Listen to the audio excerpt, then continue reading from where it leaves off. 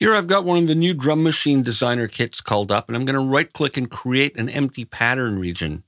Logic's new step sequencer is a grid based sequencing environment. Let's start by making this pattern 32 16th notes long. That means it'll repeat twice in this four bar pattern region. Click in the cells as the transport is playing to build up your pattern.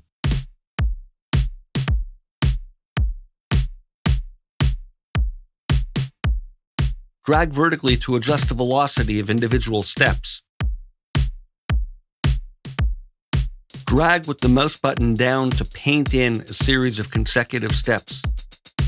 Click in the cells to remove steps to create interesting rhythmic patterns. Choose from a variety of edit modes to change the steps in any row.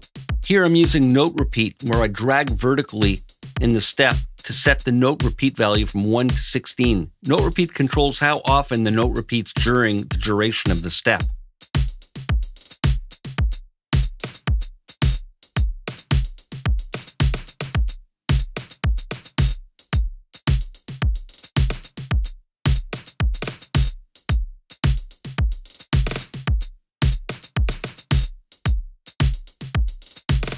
Use the loop start and loop end fields in the inspector to set the start and end of the row relative to the overall pattern.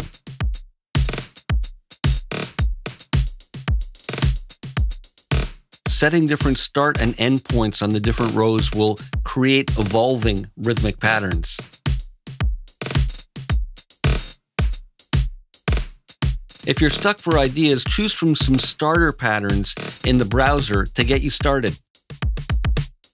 The step sequencer is fantastic as well for melodic and bass parts. Use the learn mode to learn only the notes and pitches you need.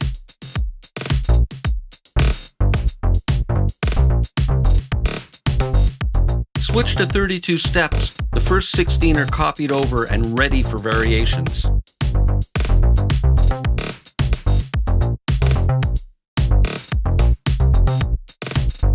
Use the skipping parameter on a per row basis to create evolving irregular patterns.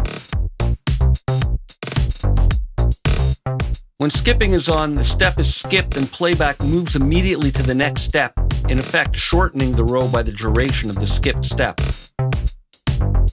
Change playback directions for individual rows to add further permutations to the pattern. Drag any file, loop, or region onto a track header and automatically create a new instrument. Quick Sampler, designed to work with individual audio files, is automatically slicing up this Apple loop and mapping it across the keys. Snap to beats or transients for accurate rhythmic editing. Use the start and end markers to trim to the portion of the file you want to use. Use the crop function to delete the unused portion. Classic mode maps the sample across the keyboard.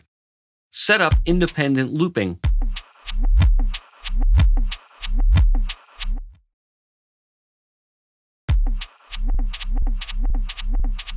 Use the built-in LFO to modulate the loop position. Sync to tempo, set a rate, and choose between unipolar or bipolar modulation.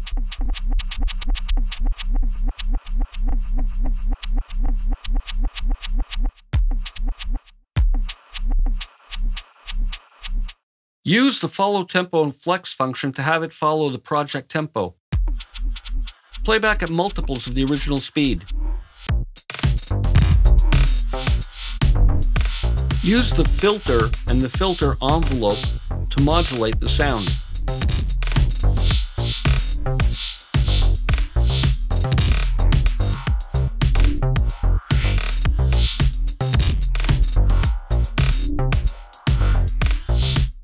Drag any files, loops, or regions over a track header and automatically create a new sampler instrument, the brand new version of Logic's EXS24, with the samples automatically mapped and ready to go.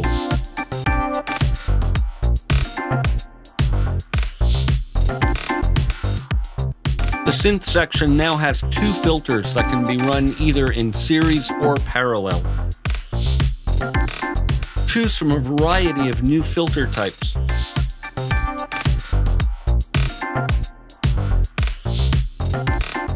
Use the new streamlined modulation matrix for easy LFO and envelope routing.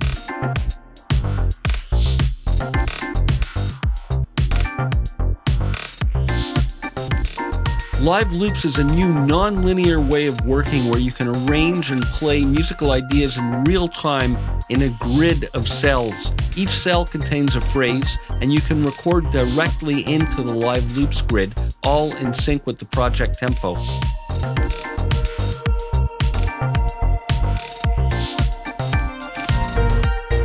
Record into take folders and then unpack to new scenes. Columns of cells are musical sections called scenes that can be triggered together.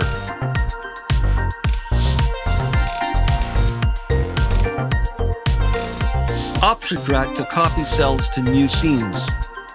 Pattern, audio, and MIDI regions can be freely moved between the tracks view and the cells.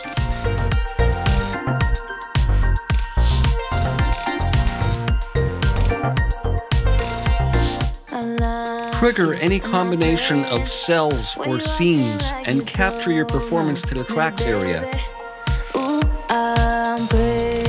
Mix and match which tracks are going to play back from the live loops grid and which tracks from the tracks area.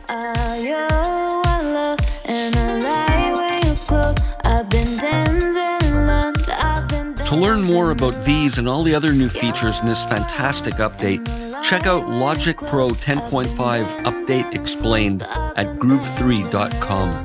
This is Eli Krantzberg for Logic Pro Expert.